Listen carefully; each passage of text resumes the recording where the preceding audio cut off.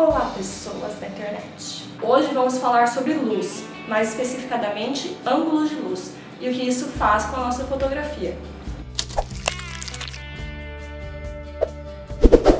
Vocês já devem saber que fotografia significa escrever com a luz. Foto é luz, grafia é escrever, então escrever com a luz. O ângulo de luz influencia diretamente no resultado da sua foto e ela pode ajudar ou atrapalhar um retrato, porque o ângulo de luz pode mostrar ou esconder algum detalhe que ele gostaria ou não que aparecesse. Assim você pode esconder algo que talvez não precise aparecer, como uma papa, algum detalhe que ele não vai gostar, e você pode valorizar detalhes que com certeza vão deixar ele ainda mais bonito. Na minha opinião, não existe certo e errado na fotografia. Claro que existe foto subexposta, superexposta, foto torta, ok. Mesmo essas coisas que nós podemos considerar errado, pode ser bonito para outra pessoa. Então não existe certo ou errado. Existe uma foto boa ou não. Se essa foto te traz alguma coisa ou não. Às vezes para você não pode trazer, mas outra pessoa vai trazer. Então então, cada um seu quadrado com a fotografia. Faça uma fotografia que você acredite e que as pessoas que precisam acreditar acreditem, entende? Você precisa fotografar para você, para seus clientes, para gente que você quer que admire seu trabalho, não para todo mundo. Você nunca vai conseguir agradar todo mundo, ninguém consegue agradar todo mundo. Mas voltando aos ângulos de luz, também não existe certo ou errado, existem N ângulos de luz. Você pode colocar sua luz em qualquer canto e não vai estar certo ou errado. Existe o que fica melhor naquele momento e quem tem que decidir isso é você.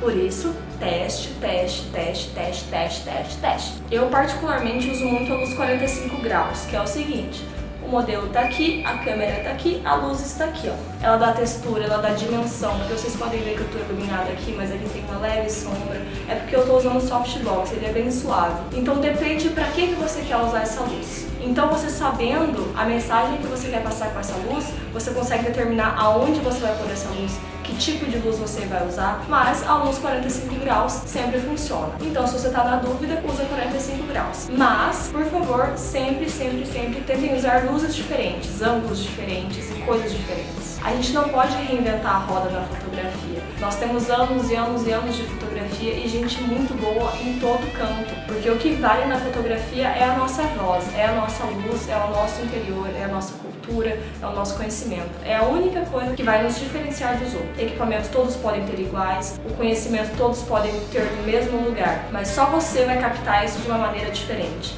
Você com a sua vivência, com a sua educação, com a sua cultura, com a sua observação, com tudo.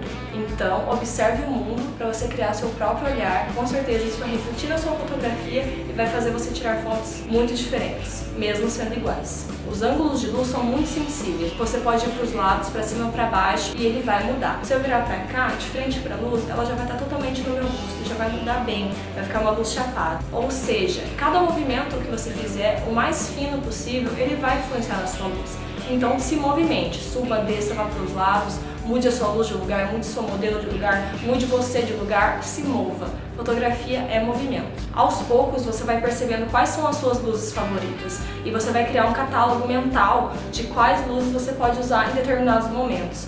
Então lembrando, essa luz ela pode vir de qualquer lugar, ela pode ser luz natural, luz de flash, luz de LED, iluminação de estúdio, pode ser o flash do seu celular. O que importa é você iluminar o seu objeto, o seu modelo, da maneira que você quer na sua cabeça. Então tá certo, não precisa ficar louco e querer comprar um milhão de equipamentos. A luz está aí em qualquer canto, é só você usar modificadores de luz e se movimentar, ir atrás da sua luz perfeita. Vamos ver um pequeno exemplo de como os ângulos de luz influenciam diretamente fotografia.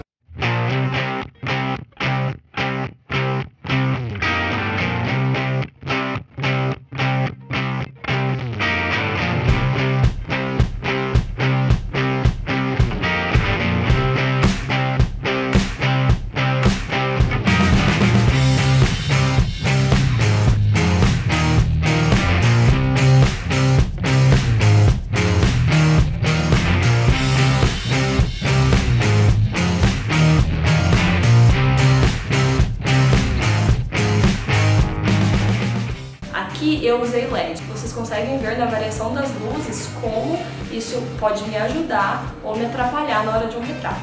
Não importa o seu equipamento, não importa a sua área. O que vai importar de verdade é você entender a luz, entender o que você quer mostrar para as pessoas.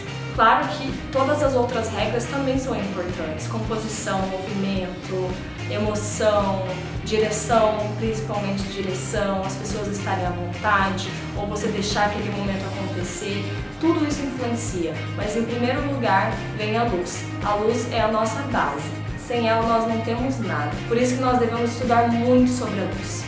E depois que você dominar a luz, ou que você achar que você domina a luz, porque nunca vamos dominar a luz. Vocês têm que entender isso. Ninguém sabe tudo, ninguém nunca vai saber tudo. Mesmo quando eu falei que nós não podemos inventar a roda de novo, porque parece que está tudo aí pronto, mesmo assim ainda não está.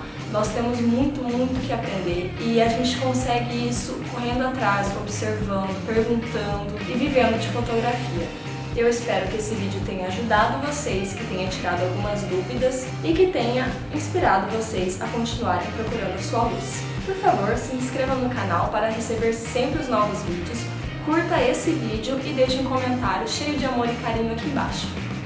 É. Deixe suas dúvidas, críticas e sugestões, eu vou adorar saber. Então é isso, tchau!